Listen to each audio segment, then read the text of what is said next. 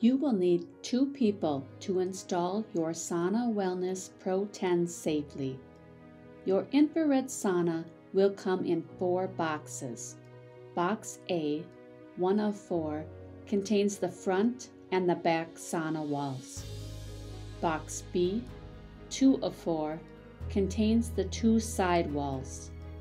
Box C, three of four, contains the ceiling and floor panels, along with the handles and the ionizer air freshener.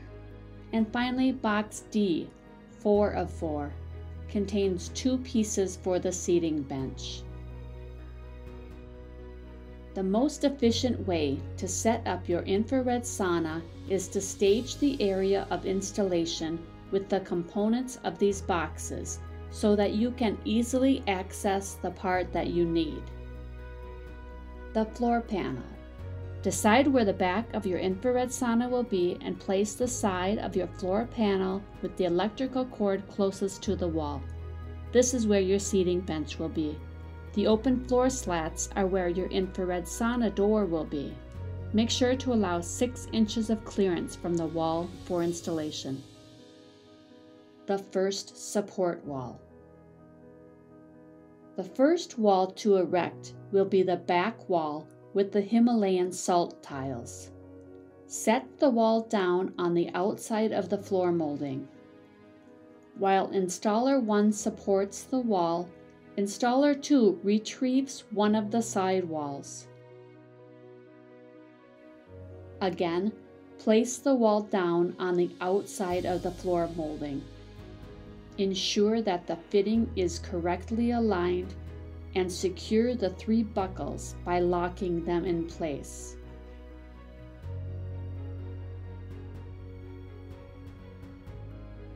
The second side wall. Now installer 2 remains to support the connected walls while installer 1 retrieves the second remaining wall.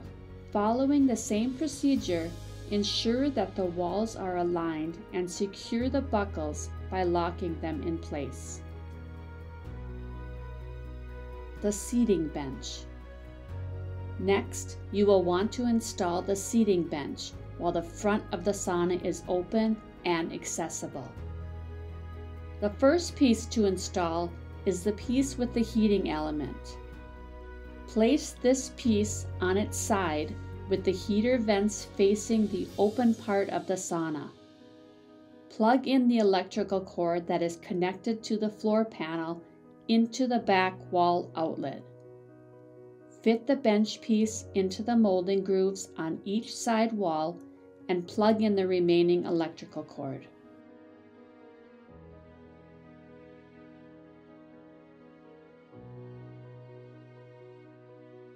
Slide the second piece of the bench seating area in between the side vents and on top of the bench piece with the heating element.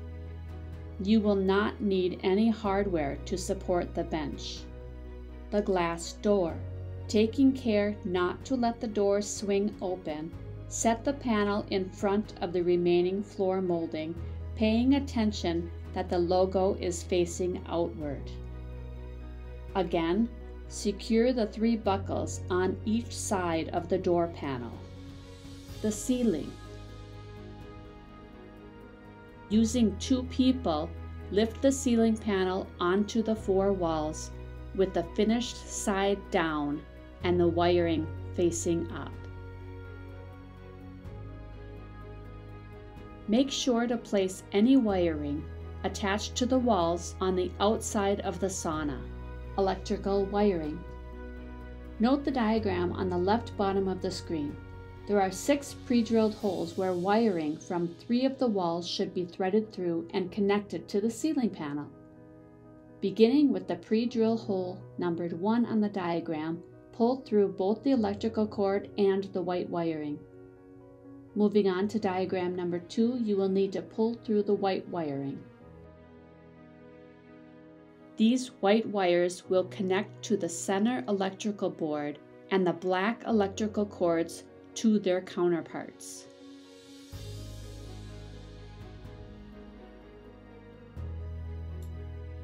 Diagram number 3 has a black and red wire that connects the Himalayan salt tile lights. Plug that wire into its respective counterpart and then continue on with diagram number 4, 5, and 6. When you get to the diagram number 6, you will have one extra connection to make. This is where the main power the control panel, and the temperature sensor is connected. When all of these connections are made, you can plug in your sauna. The handle. The handle to your infrared sauna door comes already assembled.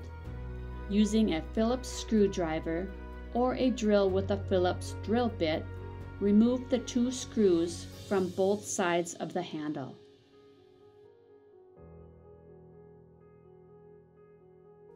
Disconnect the two sides and proceed to remove the hardware from inside the handle ports.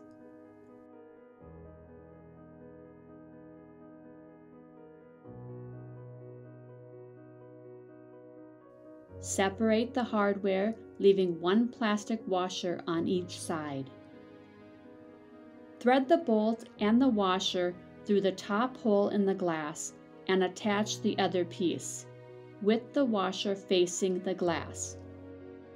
With your Phillips screwdriver or drill bit in one hand, grab one of the handles with the other hand and fit the protruding end into the open hardware.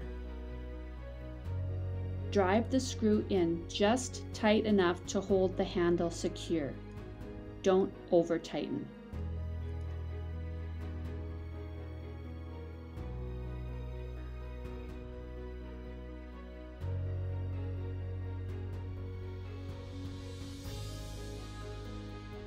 The piece should end up with the screw holes in a perfect horizontal position where you can see through the holes to the other side.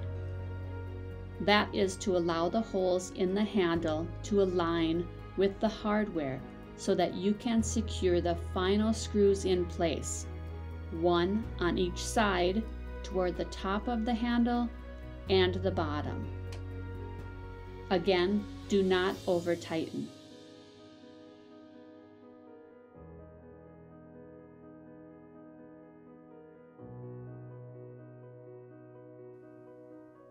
The O2 ionizer. The final piece for your Sauna Wellness Pro 10 is the Oxygen Ionizer Air Freshener. This product comes in the box with the hardware. It requires no batteries. You simply plug it into the DC cord coming down from the ceiling and screw it into your desired location.